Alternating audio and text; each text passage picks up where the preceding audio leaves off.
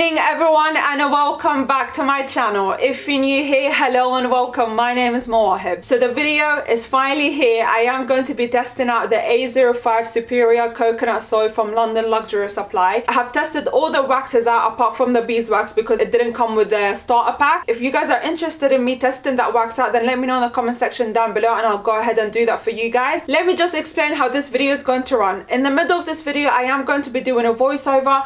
At the end of the video I am going to come back, share with you guys the results of my candle, share with you guys the details of the wax and also my experience working with the wax. So with that being said, please make sure that you click on that subscribe button down below, give this video a huge thumbs up, comment down below on what videos you'd like to see from me in the future and don't forget to turn your post notifications on so you guys can get notified every time I post. So with that being said, let's just get straight into it. Alright guys, so let's test out the A05 Superior Coconut Soy, shall we? This is how it looks like. It comes in flake form and it's actually pretty creamy. As you can see it breaks in my hand quite easily and it also melts in my hands quite easily as well.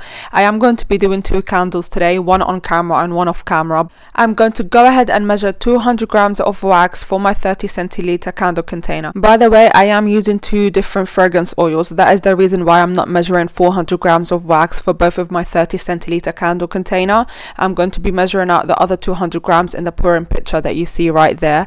And uh, right now i'm going to go ahead and measure my fragrance oil which is cucumber and melon one of my favorite fragrance oils from Cosy Owl. It smells delicious. I am using a 10% fragrance load which means i am going to be measuring 20 grams of fragrance oil. So right here this is the details of the candle that i'm going to be making today and i'm going to show you the other one in a little bit. My wax has completely melted and i'm at 68 degrees. I am going to wait until 65 degrees in order to pour my fragrance oil in give that a good mix for two minutes and then pour it straight into my candle container. I am going to be doing the second candle. I'm just going to show you guys when I pour it. I'm not really going to go into the details. That would be at the end of the video so make sure that you stay until the end.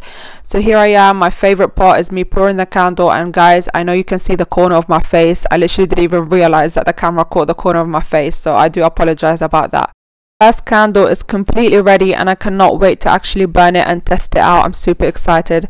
And this is me pouring my second candle at 55 degrees. So I poured my first candle at 65 degrees and this one at 55 degrees with an 8% fragrance load. I can't wait for you guys to see my candle results in the next clip coming up right now.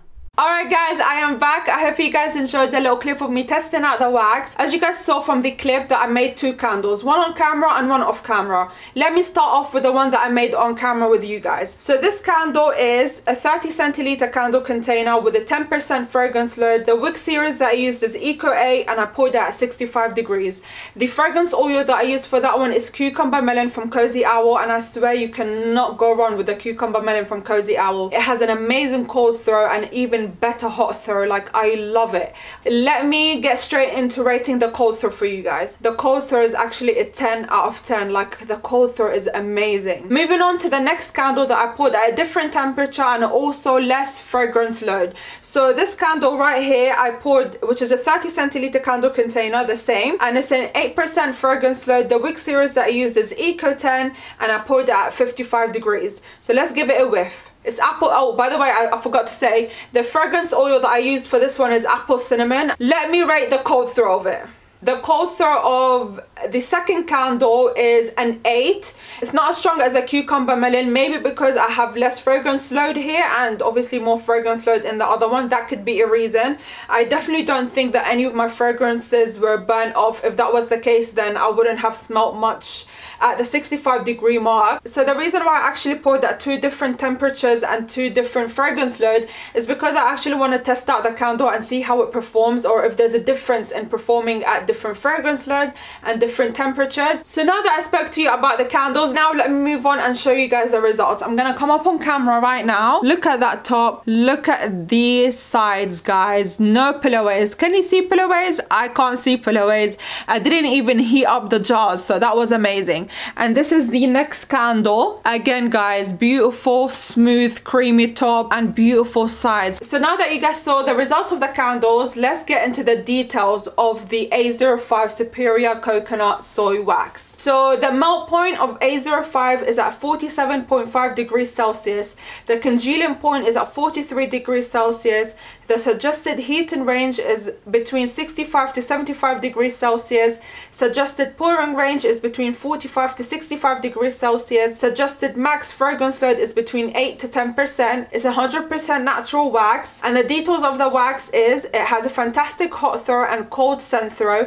A softer wax ideal for high and candle adhesion. Amazing clean burn aided by coconut oil. Smooth tops pre-burn. Post-burn smoothness is fragrance dependent. And suggested usages is ideal for container candles, suitable for melt on tasks, and it does work well with color. So I'm very glad that I actually poured both of these candles at different uh, pour temperatures and different fragrance load is because I really want to see if I can get that smooth post burn top. If you guys want me to burn test the A05 for you guys, I'll be more than happy to do that for you. Pop it in the comment section down below. If you guys are interested, I'll be more than happy to film that video for you guys. So now I spoke to you guys about the results of the candle. I spoke to you about the characteristics of the candles. Right now, let me share a bit of my experience working with the wax. The wax was actually super easy to work with. It was not hard at all. It was so easy for me to clean all my equipment. I was so happy with the wax that I actually purchased more of it because I want to do more testing on it. And speaking of more testing, I actually want to do a part two for this video.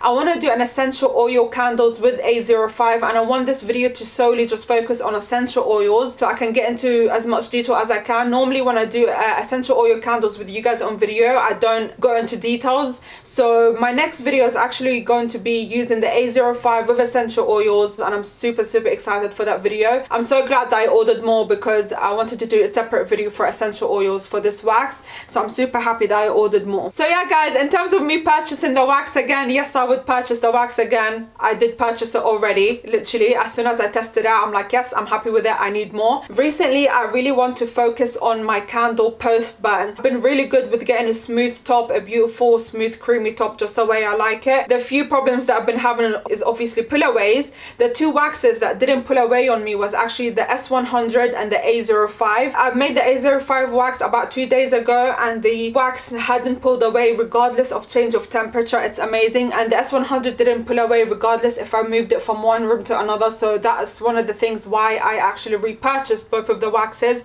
to do further testing on them. Before I forget, all the wax information that I share with you guys is actually from a book that I picked up from London Luxury Supply. If you guys are interested in the book, I'll leave a link in the description down below. What I've realized is there's a slight difference between the suggested pouring range that they mention in the book and on the website. So for example, for the A05, the suggested pouring range I said is between 45 to 65 degrees.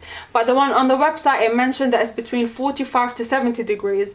So I just thought I'd make that clear for you guys just in case any of you do go over on the website and pick up the wax and you see a slight difference between the temperature that I mentioned in the video compared to the temperature that, that, that they suggest on their website. Also for the S16, S100, A27 and M12 wax, if there is a difference in the uh, pouring range uh, temperature, I am going to pop all the updated ones in the description down below. Just in case any of you guys are wondering if the slight difference with the other waxes, then I'll make it clear in the description down below just so you guys are up to date in that sense. Uh, but yeah, it's the difference between the book and the website is not a huge difference. I just thought I'd be transparent with you guys just in case you guys are wondering why am I saying something different to the website. I read off all the information from the book. I don't read it out from the website. In terms of the characteristics uh, of the wax, they're all they're all pretty much the same and there's obviously more information on the website than the one that I read from the book. Before I end this video, I just want to say if you have any questions like the usual, please pop them in the comment section down below and I'm always more than happy to help. And again, in terms of the updated pouring range for all the waxes that I've tested out on my channel is going to be in the description box down below for this video. So make sure you guys check it out just in case you want to test all the London Luxury Supply waxes that I tested out on my channel. Any of the updates, they'll be in the description down below. With that being said, please make sure that you click on that subscribe button down below. Give this video a huge thumbs up. Comment down below on what videos you'd like to see from me in the future. And please don't forget to turn your post notifications on so you guys can get notified every time I post.